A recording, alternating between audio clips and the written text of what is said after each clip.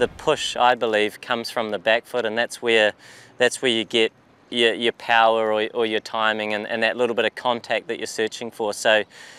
yes, the weight slightly forward. I, for me anyway, I think that's important because you need to be able to get over your front leg and if you've got a guy that's going to perhaps nip a ball back um, or be swinging the ball around and you need to be able to access those deliveries. But the push comes from the back foot. So basically if I'm, if I'm in this stance, which is my um, regular stance and my head's hopefully in the right position, um, then often I'll do a little press. So I'm slight, my weight is slightly forward. However, the press comes off that back leg and pushes you towards the delivery in whatever direction that it's coming from. So often it's trying to be nice and straight. So I'm pushing off that back foot and then making the contact, whether it's sort of through the covers or straight down the ground. You're looking to play a cover drive and the bowler gets a little bit wide and full. Then I, I do my little press and I look to push off that back foot and as you see that ball come slightly wider and your head is in that level position then you can push off that back foot to access that ball on the offside and then hopefully make that late contact um, and with that press get that little bit of power or that little bit of punch that you need to to address the ball and, and hopefully hit it for four or, or two or whatever the outcome may be but the position being the most important part of that so yeah I guess once again it's it's identifying the threat, which is possibly the straight delivery that might move a little bit, and then know the bowler's gone a little bit wide, pushing off the back foot,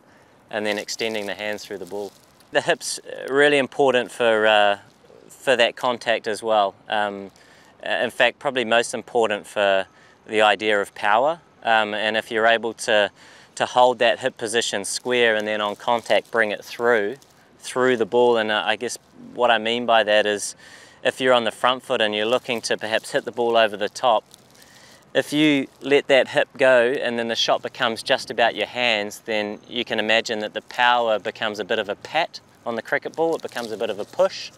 If you're able to hold that position longer, wait, wait, wait, wait, wait, once again the balance being very important, hold, hold, hold, push off the back foot, make contact and bring those hips through um, with the timing and the rhythm of the ball, then then the power can be significantly greater. And, and I guess for a, a, player like myself, um, I'm not a, a, power player, but power is still very important to, to my game and, and anybody's game. Um, you know, whether it being relative, and I guess you, you've got Pollard and Chris Gayle and, and all these other guys with incredible uh, amounts of power, but um, I guess my power is certainly not at that level, but it's still very important to my game and the areas that I want to be accessing. So the hips um, are an important part of, of generating power.